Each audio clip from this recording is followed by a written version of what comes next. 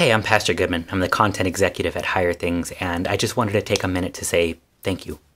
Thank you for watching and reading and listening and liking and subscribing and sharing and all the clicky click things that I know you like to do. Thank you. On behalf of all of the pastors and deaconesses and teachers and laymen and laywomen and artists and poets and editors and everybody who is so hard at work uh, to to offer up these these pieces of content for you, thank you for actually listening to them.